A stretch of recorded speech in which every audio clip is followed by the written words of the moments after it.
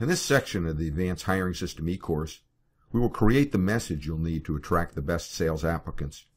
Marketing your position in the internet age has become both harder and easier. It's harder because we live in a time some have called the attention deficit age. People are being pulled in all directions, and it's sometimes difficult to get their attention. It's easier because you can do most of this from your computer.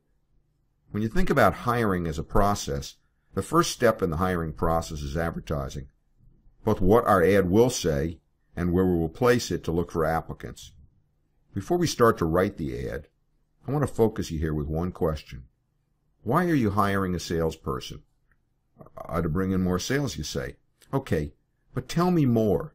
Are they required to generate their own leads? Do you have any success stories for this position? If they do a really good job, what will they earn? Is your compensation strategy realistic? Answer these questions before you start writing.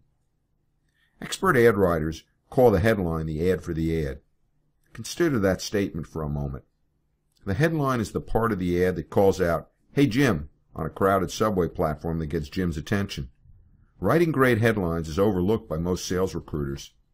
Great copywriters spend three-fourths of their time writing their headline because if the headline is weak, no one will read the ad. Your headline is the first thing the applicant sees in your ad. Scroll through the ads on internet job boards right now. Most of the headlines are boring or trite or just stupid. Your headline either causes the applicants to read your ad or to ignore it. Your ad's headline must stop them in their tracks and get them to read about your offer. There's a trick to writing great headlines. Borrow one. Here are some examples of taking great classic headlines and turning them into sales hiring headlines. Do you consider yourself to be strong-willed, forceful, and determined? Last year, our top salesperson earned $135,400 in his second year working with us. Did you ever tell yourself that your talent as a salesperson ought to be worth more than you're making right now? Who else has got what it takes to earn $138,900? That's what our top sales rep earned last year.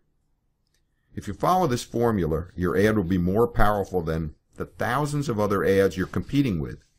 Stay tuned.